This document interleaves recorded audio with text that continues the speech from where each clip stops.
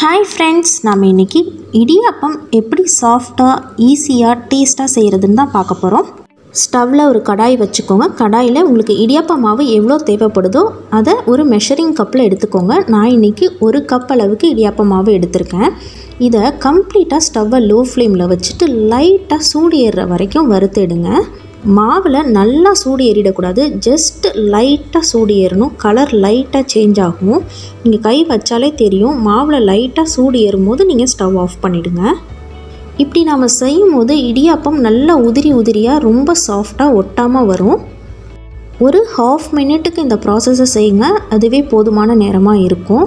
Just அந்த மாவு light heat ஆகணும். அவ்வளோதான் ஃப்ரெண்ட்ஸ் பாருங்கள் இப்போ நம்ம மாவு நல்லா லைட்டாக கொஞ்சம் கலர் சேஞ்ச் ஆகிடுச்சு ஹீட்டும் ஏறிடுச்சு.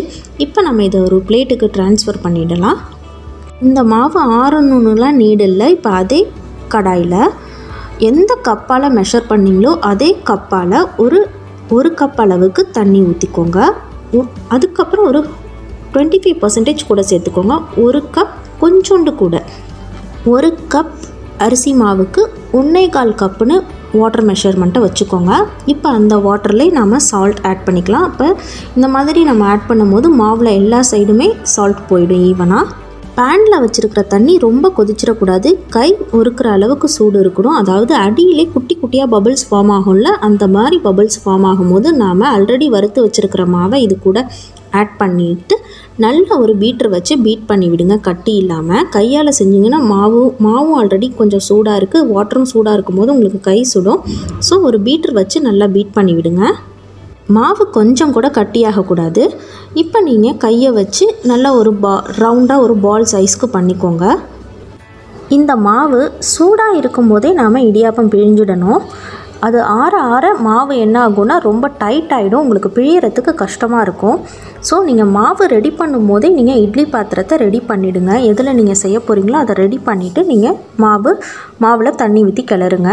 இப்போ நாம் இடியாப்பம் பேஞ்செல்லாம் பாருங்கள் எந்த ஒரு கஷ்டமுமே இல்லாமல் மாவை வச்சு அழுத்தின வேகத்துக்கு இடியாப்பம் எப்படி உதிரி உதிரியாக உழுதுன்னு நான் இருக்கிறதுலே ரொம்ப மெல்லிசான இருக்கிற அச்சு தான் யூஸ் பண்ணியிருக்கேன். இந்த மாதிரி மெல்லிஸ் அச்சில் இடியாப்பம் சாப்பிடும்போது டேஸ்ட் ரொம்பவே நல்லா இருக்குது நீங்களும் எல்லோரும் உங்கள் வீட்டில் ட்ரை பண்ணி பாருங்கள் இப்போ நம்ம இதை ஒரு இட்லி பாத்திரத்தில் வச்சு நம்ம அவிச்சு எடுத்துடலாம். மூணு நிமிஷத்துக்கு அவிச்சா போதும். இப்போ நம்ம இடியாப்பம் ரெடி ஆகிடுச்சு இதை நம்ம இப்போ போட்டு பார்க்கலாம். எப்படி இருக்குன்னு பாருங்கள் கொஞ்சம் கூட உட்டில் பாருங்கள் தட்டில்.